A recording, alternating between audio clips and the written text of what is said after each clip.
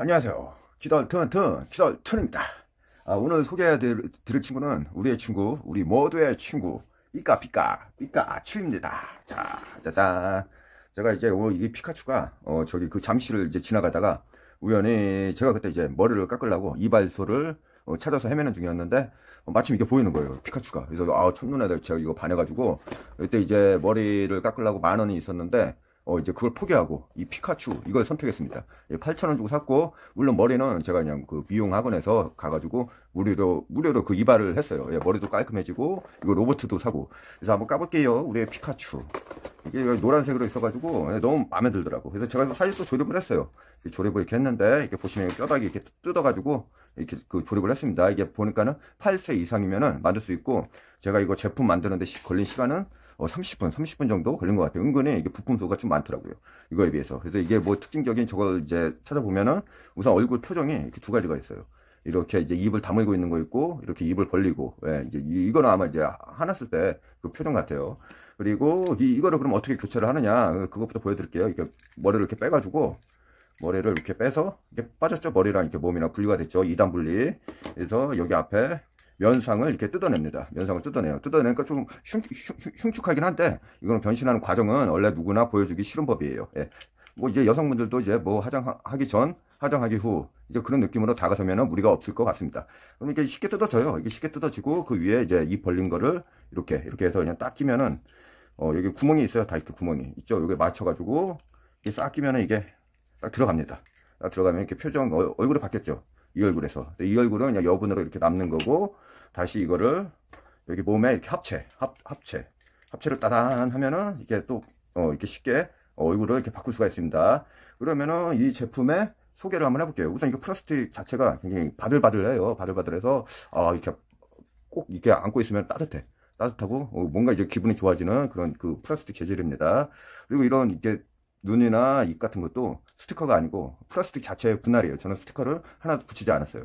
그리고 이제 그 귀, 귀도 이렇게 360도 이렇게 돌아가고 반대쪽 귀도 이렇게 돌아가고 해가지고 한쪽은 세우고 하나는 이렇게 쳐지게끔 이렇게 연출도 가능한 상태고 뭐, 모가지는 이렇게 뭐 360도 이렇게 돌아갑니다. 돌아가는데 이 꼬리까지 어, 뒤로 완전히 돌아가네. 예. 돌아가고 이제 그 팔도 360도 이렇게 돌아갑니다. 예. 안녕 하서 이렇게 돌릴 수 있어요. 풍차 돌리기. 반대쪽도 이제 이렇게 돌아갑니다.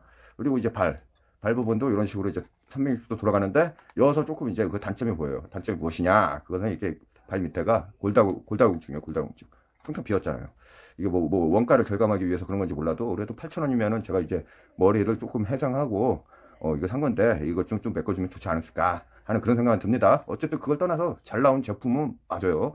그래서 보면은 이렇게 허벅지, 다리도 이렇게 돌아가서 이거를 이제 뭘 연출할 수 있냐면은 이렇게 올려가지고 이렇게 다리를 올려서 이렇게 앉을 수 있어요. 예. 앉을 수가 있어요. 잘 안 보이는데 이렇게 앉는 게 가능합니다. 근데 이게 자꾸 이게 흉, 흉측하네. 이게 자꾸 눈에 걸려요. 눈에 걸리고 이 꼬리도 꼬리도 보면은 이렇게 돌아갑니다. 예. 이렇게 360도 돌아가. 예. 그리고 여기 이제 이런 것도 다 이제 그 스티커가 아니고 플라스틱으로 어, 분할을 해줬어요. 예. 귀도 여기도 마찬가지고요. 스티커는 한 장도 안 썼어요. 이게 제가 전에 만들었던 이게 도라에몽에 비해서는 도라에몽은 이게 모가지만 돌아가는 거에 비해서는 그래도 얘는 이제 모가지는 기본.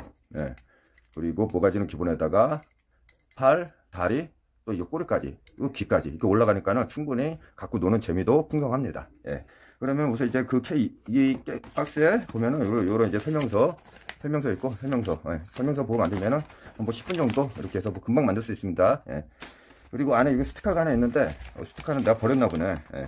스티커도 있긴 있어요. 예. 이렇게 해서 이제 뭐 이제 피카츄, 우리 친구 피카츄의 소개를 좀 해볼게요. 여분 이렇게 남는 거고 여분이 이렇게 남 이렇게 남, 남아 있고 이제 피카츄 하면은 일본의 진짜 대표적인 이제 뭐 top이라고 봐도 뭐 무리가 없을 것 같아요. 피카츄의 이제 탄생일은 1997년생이에요. 97년생이고 또 이게 이제 피카츄의 이제 뜻이 피카가 저기 뭐 번쩍이다 번쩍이다 뭐 번개. 얘가 이제 번개 쓰고 그러잖아요. 무기가 그거 하나지 뭐 번개 쓰는 거.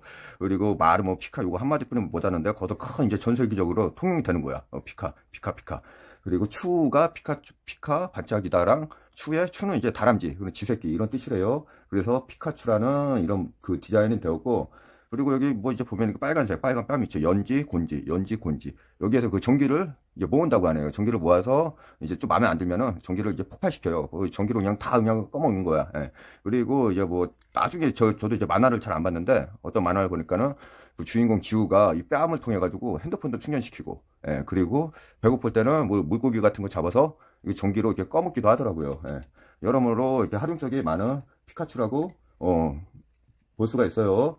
그리고 이제 피카츄 하면은 또 이제 뭐 저기 뭐야 어 저기 그 뭐야 이제 특징적인 뭐 디자인이라고 하면은 여기 다람쥐를 나타나는 이런 것도 있죠 추 숫자가 다람쥐라는 뜻이니까 그리고 피카츄는 빨간색, 노란색, 신호등 하면 또 이제 빨간불, 노란불 있죠.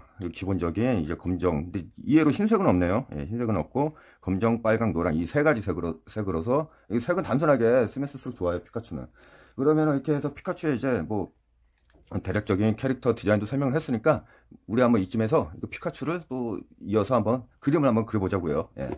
해놓고 이제 종이가 없으니까 이게 뒷면 박스 이거를 재활용해가지고 이걸 제가 쪼갤게요. 쪼개가지고 싹싹 쪼개서 쪼개서 하면은 이게 딱 A4까지는 안, 안, 돼도 어느 정도 이제 A5 사이즈가 나와요. 예. 이 뒷부분은 누, 누래서 못 쓰니까 이 앞면을 활용해서 어, 피카츄를 한번 그려봅시다. 자, 피카츄. 그리고 봅시다. 이게 좀 이, 런 모습은 재미가 없으니까 이렇게 이게 뭐 필살기 쓰는 포즈라고 하네요. 이게 뭐 Z, Z 포즈인가? 하여튼 뭐 그 포즈가 있어요. 저 잘 안 봐서. 네. 근데 캐릭터는 좋아하는데 이게 만화는 조금 이제 애들을 보는 그런 느낌이어서 제가 그 만화 애니메이션까지는 챙겨보지는 못했습니다. 그리고 이게 간단하죠 피카츄. 머리 그냥 이렇게 해서 이렇게 동굴 이게 땅콩 모양인데 약간 완전히 동그랗지 않고 이게 볼따구가 튀어나와 있어요. 그죠? 그리고 눈과 눈 사이가 이렇게 좀 멀어. 네. 이렇게 좀 멀어. 그 눈과 눈 사이가 멀면은 좀 귀여워 보이는 느낌이 있어요. 코는 동그란 게 아니고 이렇게 반원, 반원이야, 반.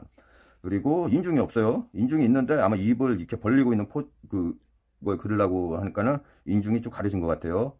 그 다음에 입 안까지 이렇게 그려주시고, 그리고 귀, 귀, 귀도 이렇게 해서, 토끼 귀, 예. 뭐, 토끼도 좀 섞여 있는 것 같죠? 피카츄를 이제 그릴 때 디자인이 그 토끼 귀가까지 들어간 거 보니까 확실히 토끼가 들어가 있는 것 같습니다. 그 다음에 여기 팔, 팔부터 먼저 그릴게요. 뭐, 뭐, 몸보다는 팔을 이렇게 앞으로 이렇게 해서 근데 신기한 게 피카츄가 나 몰랐는데 이번에 한 사, 실인데 손가락이 이 손가락이 다섯 개더라고요 다섯 개 예. 제가 세봤어요 정확히 하나 둘 세 개 네 개 다섯 개 그래서 원래 보통 이제 캐릭터 때 그렇게 많이 그리지는 않는데 다섯 개 다 이렇게 표현이 됐어요 그래서 됐었으면은 원작에 충실하기 위해서 저도 이게 다섯 개를 그렸습니다 그리고 반대쪽 팔도 이렇게 해서 손가락 손가락을 다섯 개 하나 둘 세 개 네 개 네 개뿐이 안 그려지네 그 다음에 이제 몸은 전체적인 몸, 몸이 이렇게 해서 유선형이죠. 그 배가 이렇게 좀 나왔어. 네. 이렇게 배가 나오고, 그 다음에 이제 발, 허벅지가 좀 튼실해. 허벅지가 튼실하게 이렇게 때려주시고, 그 다음에 발바닥, 발바닥도 보면은, 근데 발바닥은 또, 그 발바닥에 발가락을 세워보니까는, 발가락은 세 개더라고요. 하나, 둘, 세 개.